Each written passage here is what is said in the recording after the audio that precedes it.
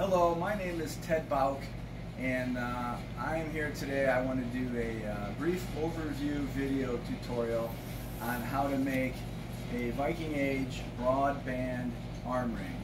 These are some examples that I've made that I'm wearing. As you can see, I'm wearing them on my wrist. They call them broadband because they're kind of made out of sheet and then stamped both men and women of the Viking Age wore these. Uh, the broadband arm rings that I've just shown you, they're a little bit more detailed than I'm going to go into today on this overview. The version I'm going to make is going to be closer to targeting something like this one from the National Scottish Museum. You can also look up and research things from the Cuerdale Hoard. This is the book um, that shows lots and lots of information and reference material on these type of arm rings and so many more things in the Viking Age that the silver metalsmiths did of that time. So uh, I am in the SCA. The SCA is the Society for Creative Anachronism and in the SCA of which I've been a member for over 30 years, my title is uh, Duke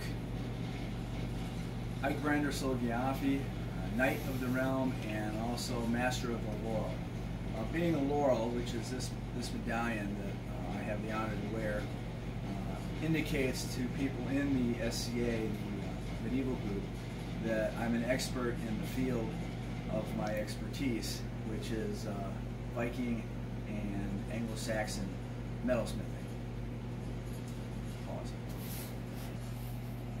In the Viking Age, these arm rings would have been made out of silver.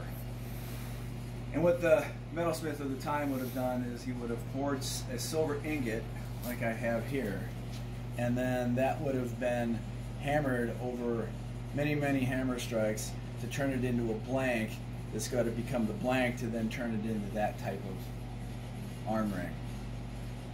In today's modern society, silver is pretty expensive. So when we learn how to make these, we're going to use brass, and that's what this is. This is a brass blank that I'm going to use to show you how to do this today. Pause. Okay, so I'm going to go over some of the steps that I had to take to get this coupon made first. So I get my brass 260, also known as cartridge brass, out of my stockpile and I had to decide the size of coupon I was going to make. In this case, it's two millimeters thick by three quarters of an inch wide by seven inches long.